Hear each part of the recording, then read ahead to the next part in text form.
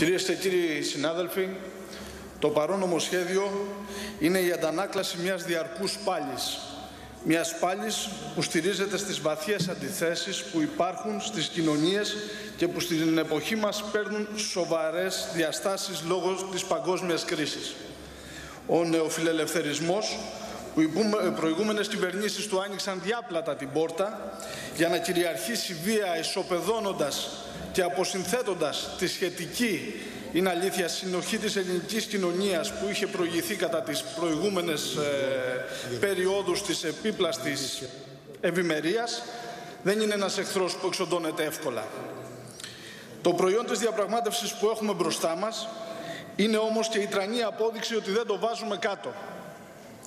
Τα άρθρα με τα αντίμετρα είναι οι νίκες μας απέναντι στις πολιτικές του ελευθερισμού που μπορέσαμε να πετύχουμε με σκοπό πρώτα απ' όλα να αποκαταστήσουμε και να διατηρήσουμε την συνοχή της κοινωνίας που έχει πληγεί βαθιά από την ανελαίτη επίθεση που εφαρμόστηκε βία τα χρόνια τα προηγούμενα την τελευταία 7 ετία που εγκαταστάθηκε στη χώρα από το Πασόκ και μετά από τη Νέα Δημοκρατία από κοινού από το 2010.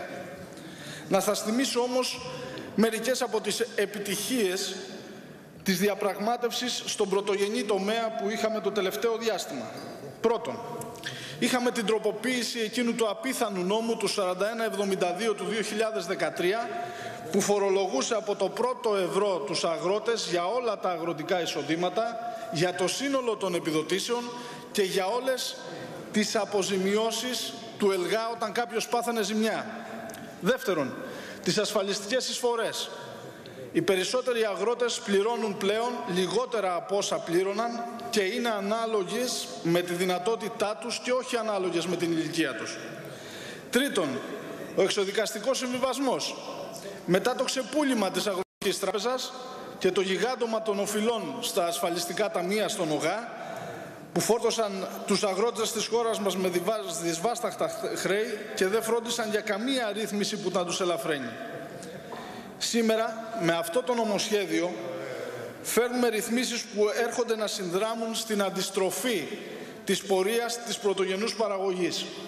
Στο πλαίσιο λοιπόν αυτό της παραγωγικής ανασυγκρότησης έχουμε να πούμε τα εξής. Είμαστε υπερήφανοι γιατί καταφέραμε να γυρίσουμε τα αγροτικά εφόδια, όλες τις ζωοτροφές και τα ζώντα ζώα, το ΦΠΑ στο 13%. Γνωρίζαμε ότι η σύμβαση του 2015 έχει ένα σφάλμα σε αυτό το σημείο και είναι από τις νίκες μας το ότι καταφέραμε στον αγροτικό κόσμο της χώρας την επαναφορά του ΦΠΑ στο 13% και μάλιστα άμεσα από 1η Ιουλίου του 2017.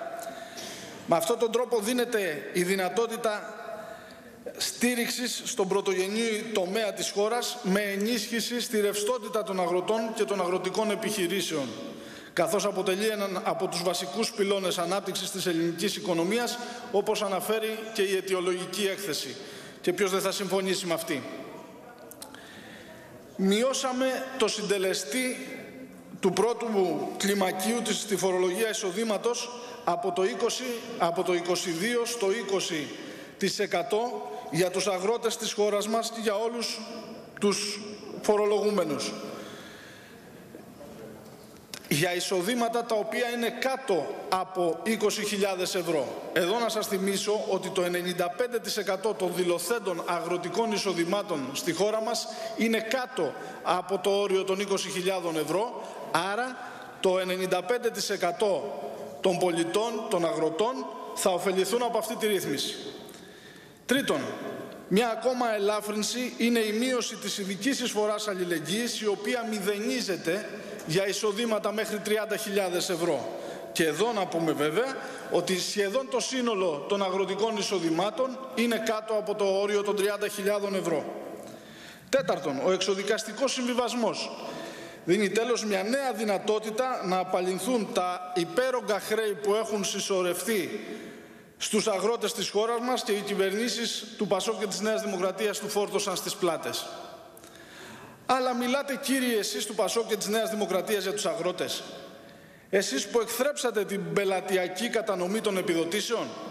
Αντίθετα εμείς το 2016, τον προηγούμενο χρόνο, πληρώσαμε 3,7 δισεκατομμύρια εξοφλώντας επιδοτήσεις ανίσπρακτες από το 2008 και μάλιστα χωρίς να χαθεί ούτε ένα ευρώ από την προηγούμενη προγραμματική περίοδο.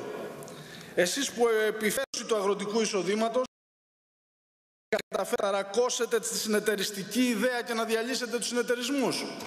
Εσείς που πουλήσατε τις αγροτικές συνεταιριστικές επιχειρήσεις με πρώτη τη Δοδόνη, αλλά και τις ΕΚΑΠ και άλλες πολλές. Είμαι βέβαιος λοιπόν ότι οι αγρότες της χώρας μας γνωρίζουν καλά τα έργα σας, όπως αναγνωρίζουν και τις παραπάνω μικρές αλλά και μεγαλύτερες νίκες μας. Και γνωρίζουν καλά ότι είναι βαθιά η επιμονή μας για να εξυπηρετήσουμε τη μεγάλη πλειοψηφία ανατρέποντας όσο το δυνατόν περισσότερα σημεία τις πολιτικές του νεοφιλελευθερισμού όπως κάνουμε σήμερα με το ΦΠΑ στα αγροτικά εφόδια. Καμιά άλλη πολιτική δύναμη δεν θέλει και άρα δεν μπορεί να υπηρετήσει αυτό το σκοπό σε πραγματικές συνθήκες και όχι σε συνθήκες in vitro εργαστηρίου.